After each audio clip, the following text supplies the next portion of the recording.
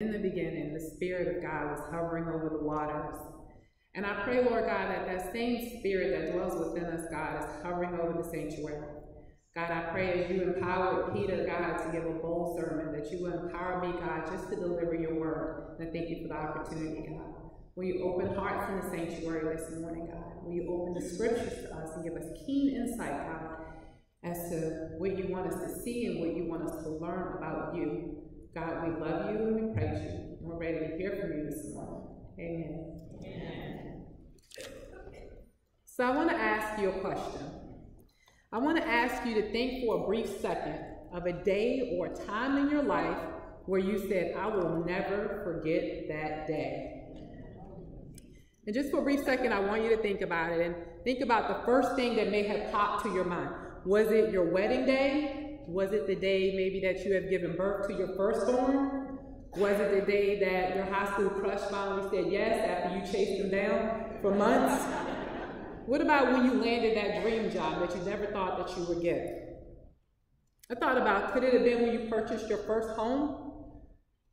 Maybe September the 11th. A lot of people say, I'll never forget that day. Or maybe Hurricane Isabel. And as you think about that day, your day, think about all the feelings and the emotions and excitement, or maybe not, maybe sadness that accompanied you with that day.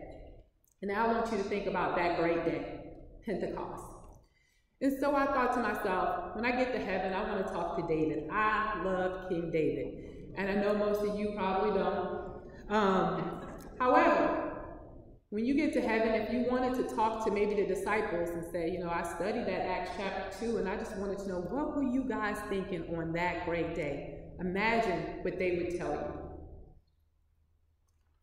And our great day, whatever that is for me and for you, may have changed our lives and some of the people's lives around us. But on this great day, the lives of the entire world will change, not just the disciples.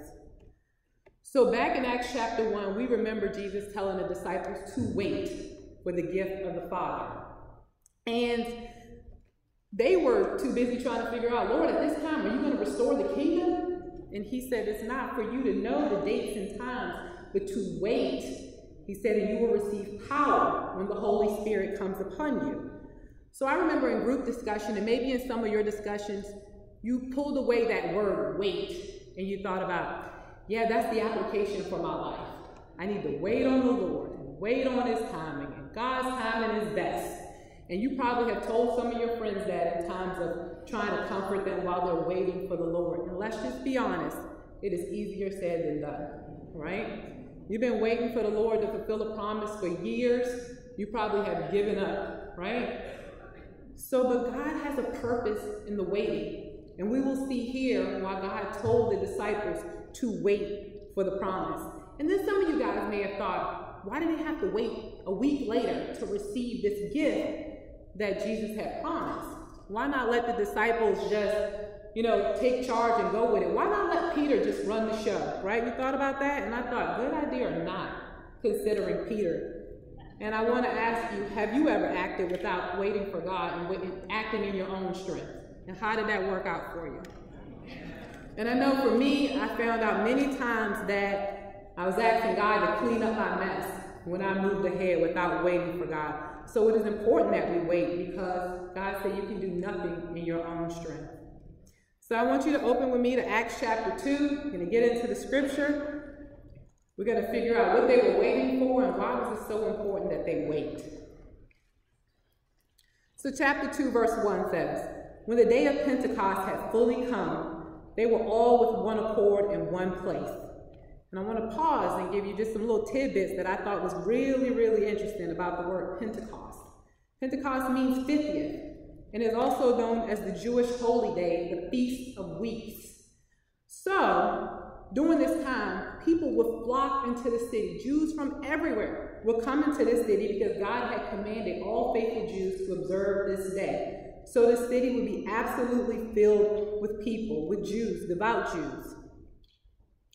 And as the notes will tell you when you get your notes today when you leave, this feast normally celebrates God's gift. And that's the gift that God gave him was the word he gave to the people at Mount Sinai. So I find it truly, truly fascinating that one, Pentecost means 50th, Two, that the city would have already been packed with people. Three, Jesus Christ walked with them for 40 days, showing himself to them and illuminating the scriptures to them. And Jesus was gone for about almost 10 days, that'll 50. God is sovereign, God is omniscient, he knows all things. Hence, wait, right? Wait. And I can't help but to marvel at the sovereignty of God. He knew that the city would be filled. He knew that this was a perfect time. God's timing is perfect to deliver the promise that he had promised the disciples. So we learn that they were all in one place on one accord, and perhaps they were in the upper room. The scriptures does not denote that, but we know that they were all together and they were waiting. And then Luke does his best to describe what happened during the waiting. And so you guys read that. It says, Suddenly there came a sound from heaven as of rushing mighty water, and it filled the whole house where they were sitting. Then there appeared to them divided tongues as of fire, and one sat upon each of them. And verse 4 says, And they were filled with the Holy Spirit, and they began to speak with other tongues as the Spirit gave them utterance. So I want to talk about the imagery here because it's almost fascinating to me that it was as is rushing water, as is tongues of fire, because God is truly undescribable. And I think you can think of a time when the Holy Spirit swept through you and you were trying to describe something to somebody and you said, it was kind of like, I really don't understand it, but it was something like this. It's hard to describe God. It's hard to describe him in one word. So Luke does his best to give us those descriptions. And so I want to talk about the imagery real quick. The wind. Do you remember um, in the study of John when Jesus was talking to Nicodemus? He said, The wind blows where it wishes, and you hear the sound of it, but you can't tell where it comes from. He says, So is everyone that is born of the Spirit.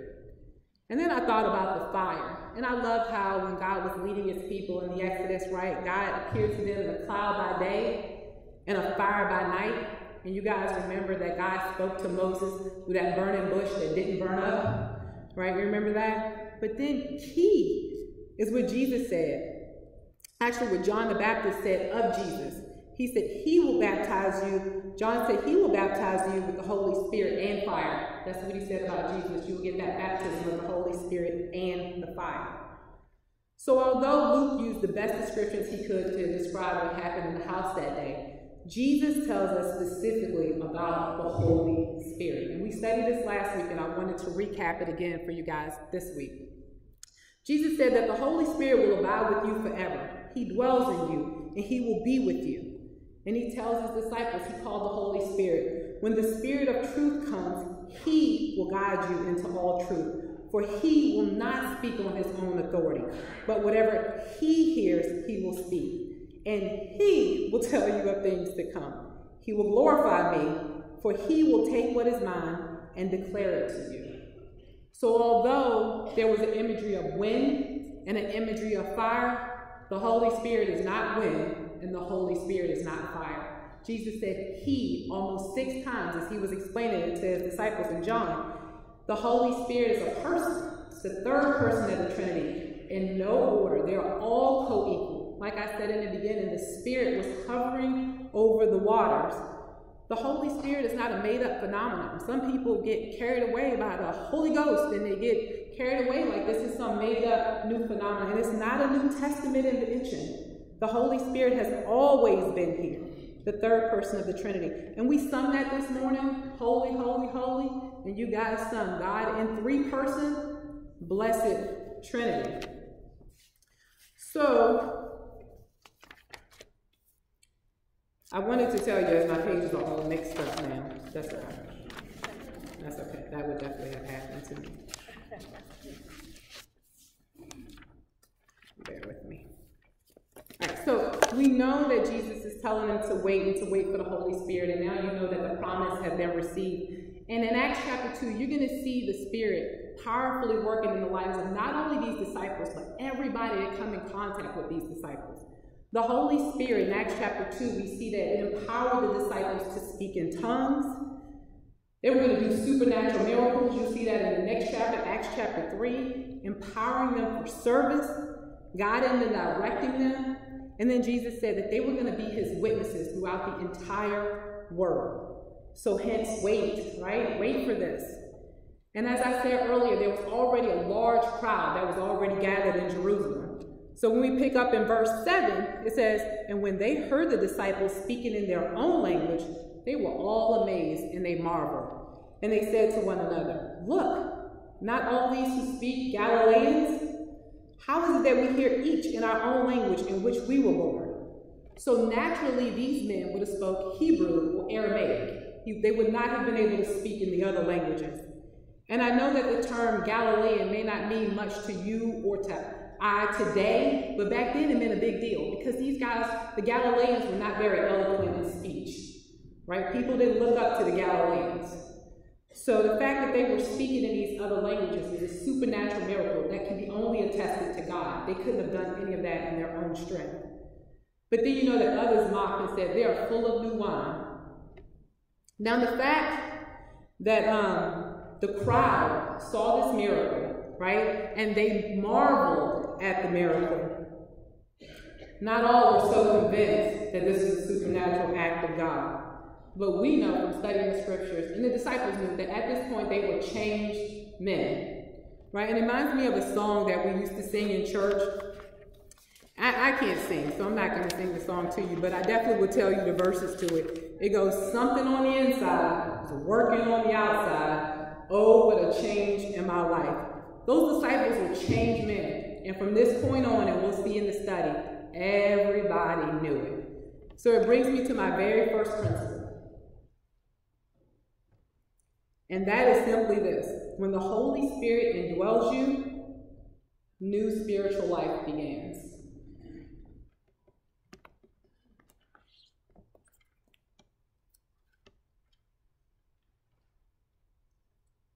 When the Holy Spirit indwells you, new spiritual life begins.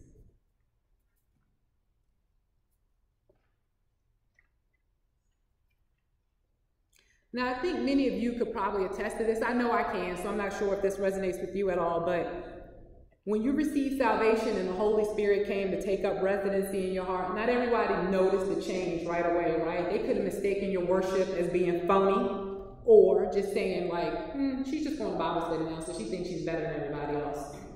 Or, why is she acting like that? Why is she telling me about my sin? Why is she this? Why is she that? And just like the crowd, they dismissed the disciples' outward change as drunkenness. And some may definitely have dismissed your outward change as, mm-hmm, yeah, right, she's not really born again. But I want to reassure you of this one thing that people's perception doesn't stop the Holy Spirit from working in and through you. So, no matter what people perceive, do not let them stop your worship and your praise because the Holy Spirit is not going to stop.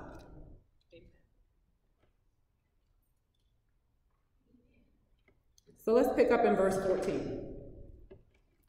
But Peter, standing up and raised his voice. I want you to let that sink in just for one second because I almost cringed.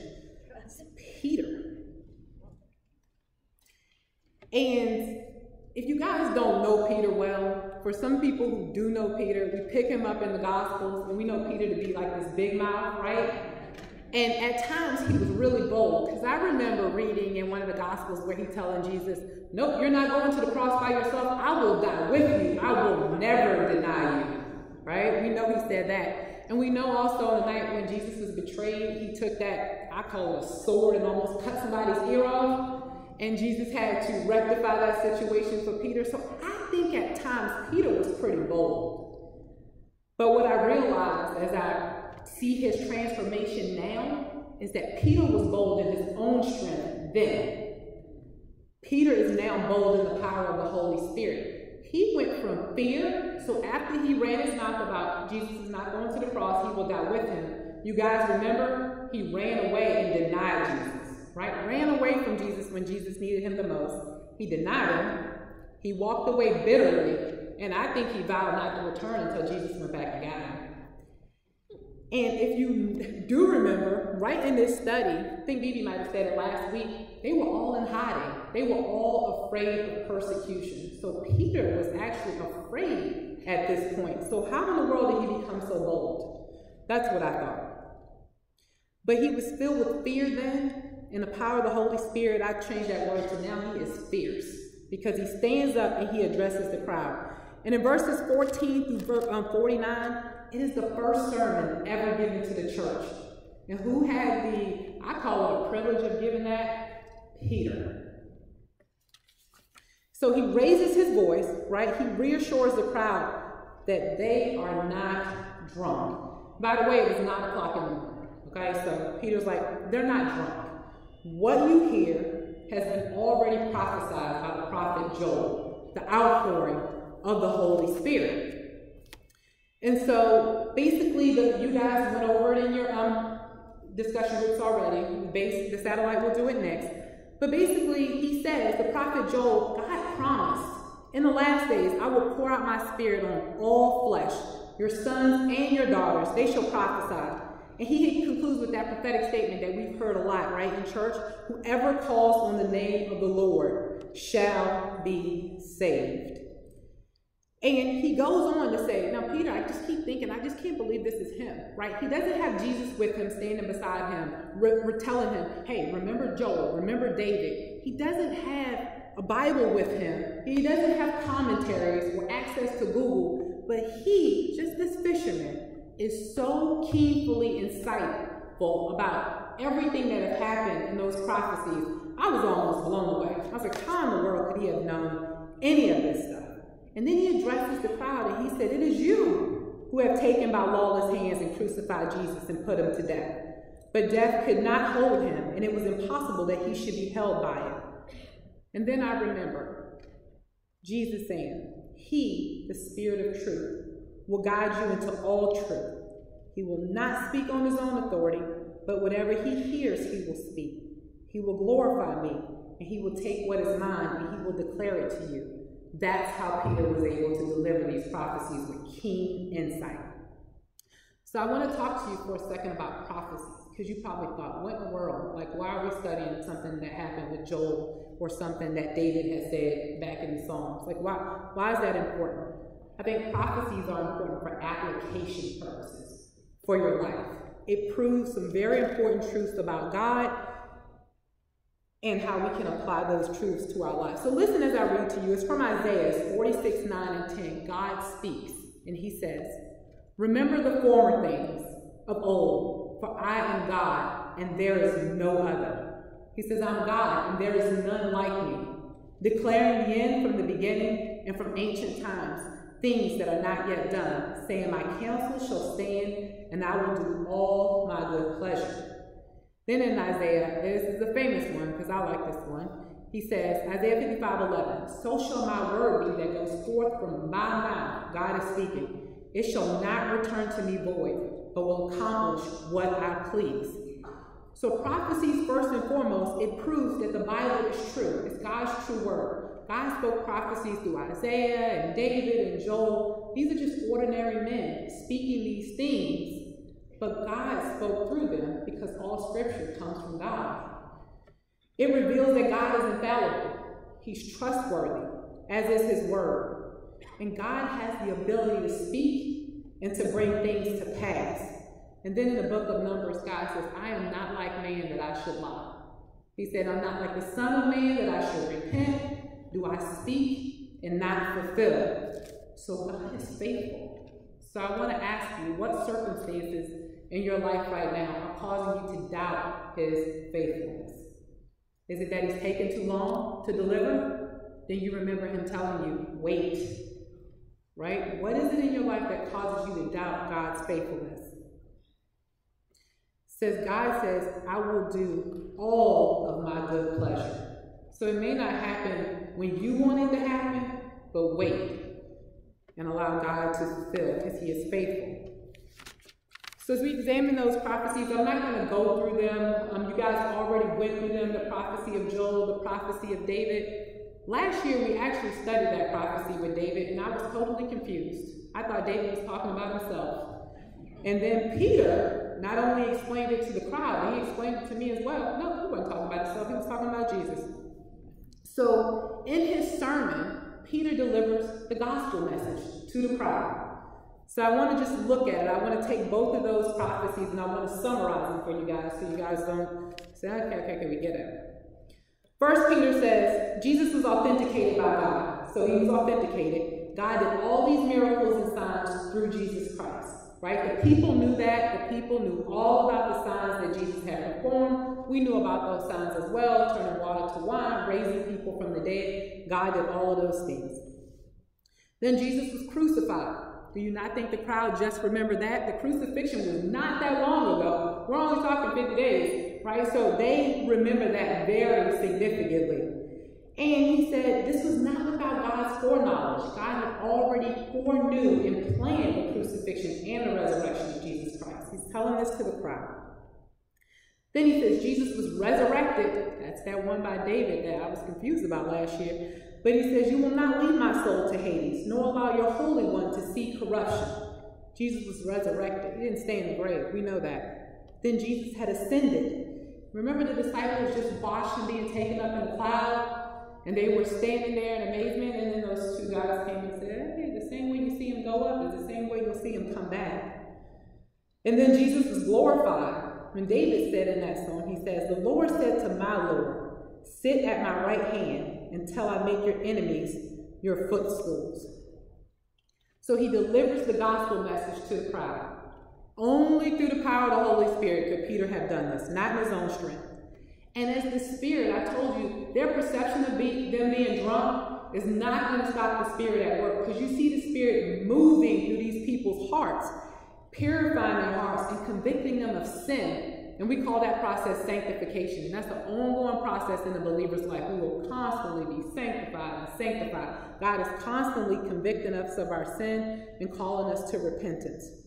And you ask me, how can I know that the Spirit is at work? Because the crowd's response. The crowd was cut to the heart. And they said to Peter and to the other brother, Men and brethren, what shall we do? So it made me stop at this point and think to myself, when was the last time I was cut to the heart about my sin? When was the last time that sin actually you thought, oh my goodness, I sinned, and you felt bad about it? Or is it just so casual now that you tell a little white lie, or you might cheat a little bit here or there, or you know, say mean words to people, mean thoughts to people, and just without a second thought? When was the last time that you were actually cut to the heart, where you actually weep over your sin. And even maybe call somebody, a pastor, somebody say, what should I do? I think sometimes now sin is just so casual that it doesn't even faze us anymore. So Peter tells them, simply repent and let every one of you be baptized in the name of Jesus Christ for the remissions of your sins, and you shall receive the gift of the Holy Spirit. He says, For the promises to you and to your children and to all who are far off, as many as the Lord our God will call. And Peter, with many other words, exhorted them, and he said, Be saved from this perverse generation. Then those who gladly received his word were baptized, and about 3,000 souls were added to them that day. Ladies, you have just read and studied the birth of the very first church. And then I want to ask you something. If it was Peter standing here right now and not me, and you guys were the crowd, what would he call you to repent of? What would he say to you? So then what is the Holy Spirit telling you now to repent of?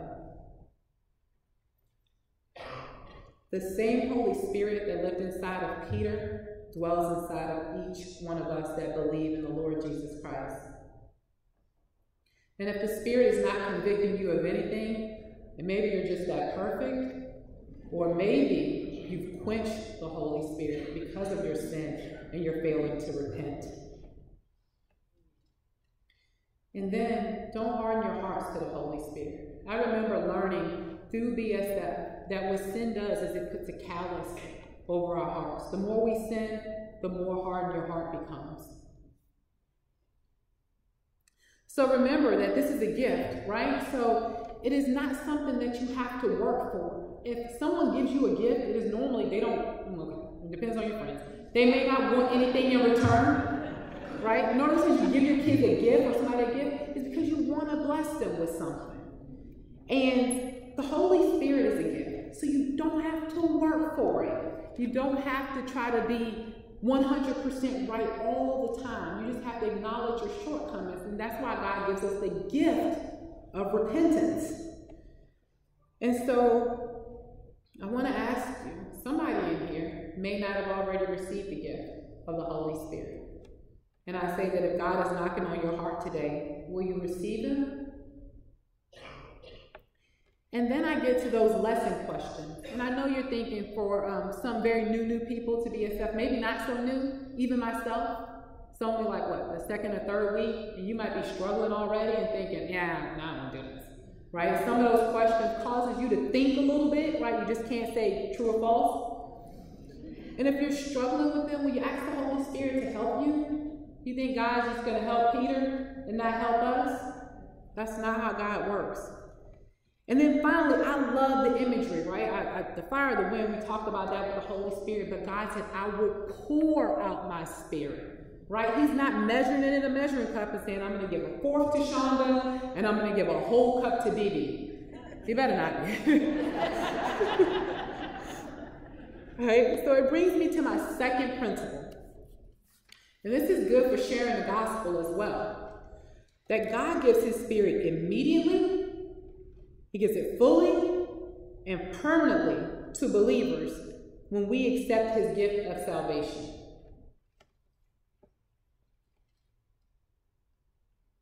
He's waiting for you to do more things right than more things wrong. That's the case. Half of us might not receive that gift, right? When you accept the Lord, Jesus Christ, as your Savior, God gives His Spirit immediately, fully, and permanently to believers.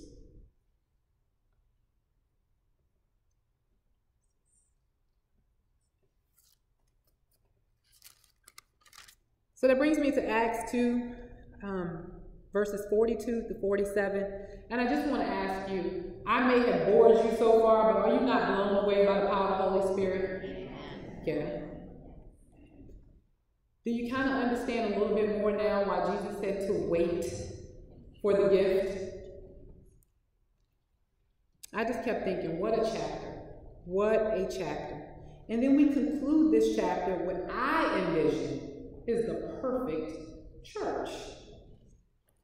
So the people continued steadfastly in the apostles' doctrine and fellowship we picked up, in the breaking of bread and in prayers. It says, Now all who believed together had all things in common. They were selling their possessions and goods and dividing them among all as anyone who had need. And I think one of the verses that I love so much, it says that they ate their food with gladness and simplicity of heart, praising God and having favor with all people. And the Lord added to their church daily those who were being saved. And when I consider this group of believers, I think it was a lesson question you may have had. I think it was on our lesson. The only thing that I could think about, being very biased, is BSF. I thought, where else have I ever been that there has been unity of the Spirit, that there is fellowship when you have fellowships, that there is um, prayer. We pray for each other. We pray for you. You guys probably pray for us. That we praise God week after week. You guys have testimonies of what God has done in your life. We share a common bond. These people have all things in common. We have a common bond. That's Jesus Christ. Right? Our love for Christ. And then I look at the Spirit, how it has united people, regardless of race and age and cultural backgrounds. Look at your groups. They're pretty dynamic. You might have some 20 year olds, you may have some 40 year olds, you may have a blending of year olds, you have all kinds of people in your group. The Spirit of God has done this. And then I think, I don't want to be so biased, right? I think that um, sometimes God gives you this ability to see what that first church looked like, maybe in your small group, maybe even in your own personal church. I've talked with people before and I said, well, what do you think like church should look like nowadays? They said the Acts Church. Everybody knows the Acts Church. We know that. And I think that um, we should praise God and thank God for giving us an opportunity, even in BSF or wherever you have this type of unity among the Spirit. You thank Him for giving us just a little taste of what that church looked like. And I love when the song said, Taste and see that the Lord is good. So we should never take for granted what we have here in the bond and the fellowships that we have with each other. And I think Bibi might have mentioned during her first lecture that the book of Acts literally is titled The Acts of the Holy Spirit. She talked about the Holy Spirit last week.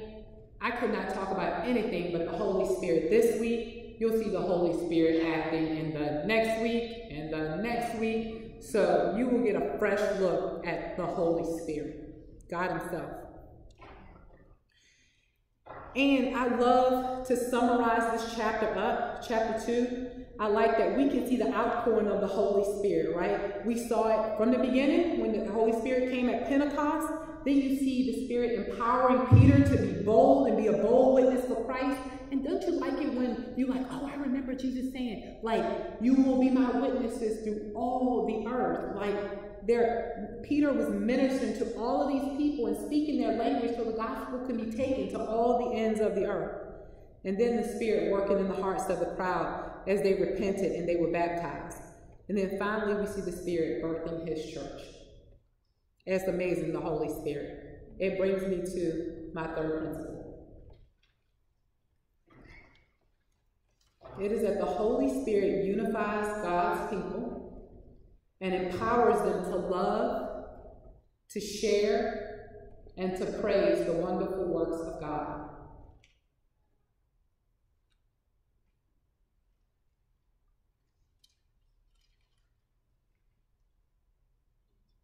Again, it's the Holy Spirit unifies God's people and empowers them to love, share, and to praise the wonderful works of God.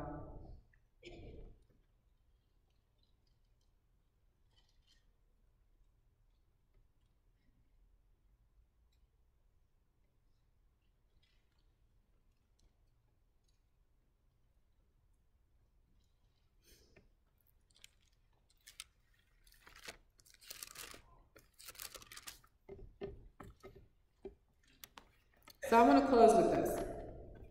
I want you to think about everything that we've learned today in just this Acts chapter 2 and the command to wait and the promise that God gave, gave and how it changed the disciples' lives and how it changed our lives. But also remember Peter. And remember after he denied the Lord, he wept bitterly and he kind of went on his own way. And Jesus had to go get him. And he said, Look, once you're strengthened, go back and strengthen your brother. Jesus came back to get Peter and to restore Peter. And I was thinking about this as I was studying, and I was like, there has to be something, God. It's something that tied all of this together for me at the end. And it actually was in Matthew 16, 15. And Jesus was asking his disciples at that time, Who do you say that I am? And they were saying, Well, some say you're John the Baptist, some say you're Elijah, others said Jeremiah, or one of the prophets. But Jesus said to them, But who do you say that I am? Simon Peter answered and said, You are the Christ, the Son of the living God. And Jesus answered and said to him, Blessed are you, Simon Barjona, for flesh and blood has not revealed this to you, but my Father who is in heaven. He said, I also say to you that you are Peter. And on this rock I will build my church, and the gates of Hades shall not prevail against it. Now think about Peter. Maybe in his quiet time or devotion time with God, he probably remembered. He said, On this rock, Peter, I will build my church, and the gates of hell will not prevail against it. God gave Peter the opportunity and the privilege to deliver the very first sermon to the church. And that sermon has changed their lives and has changed our lives forever. Only could he have done that through the power of the Holy Spirit. The Holy Spirit is truly unstoppable. You guys have a great day.